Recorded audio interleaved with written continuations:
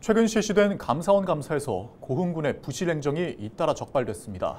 부정 청탁을 받아 특정 업체와 계약하고 조건에 맞지 않는 업체를 선정한 사실이 드러났습니다. 송하영 기자의 보도입니다. 고흥 도양읍의 옛 녹동 휴게소 일원입니다. 당초 2022년까지 실내 수영장과 해수탕이 들어서기로 했지만 아직까지 공사는 완료되지 않고 있습니다.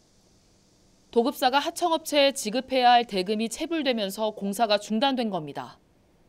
그런데 문제는 이뿐만이 아닙니다.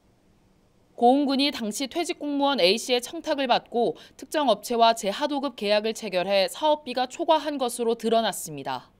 이와 함께 경제성을 따져보는 과정에서 관련 자료를 왜곡해 무리하게 사업을 추진하려 했던 사실도 최근 감사원 감사 결과 확인됐습니다. 이 업체가 사업 진행이 좀 어려웠어요.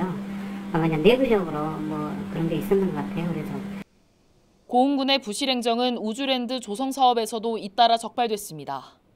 고흥군이 기존 우선 협상 대상자였던 업체가 사업 시행 조건을 이행하지 않자 선정 취소나 재공모 없이 공모에 참여하지 않은 다른 업체를 대상자로 선정한 겁니다.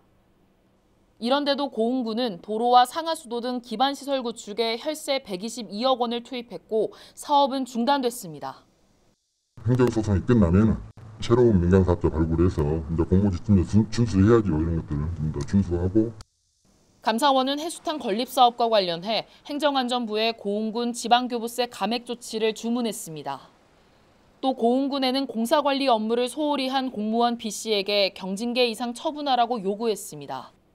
우주랜드 조성 사업에 대해서는 사업 시행사의 재정 여건 등을 철저히 파악하라며 주의 처분을 내렸습니다. 경징계 이상으로 처분을 하라고 내려왔기 때문에 그것은 위원회에서 결정한 사항입니다. 이런 가운데 최근 중단된 동강 특화 농공단지 조성 사업과 관련해서도 사업 시행사의 자금난이 반복되자 이에 대한 비판이 쏟아졌던 고흥군. 재발 방지책을 마련하겠다는 고흥군의 계획이 제대로 지켜질 수 있을지 점검이 시급해 보입니다. 헬로티비 뉴스 송하영입니다.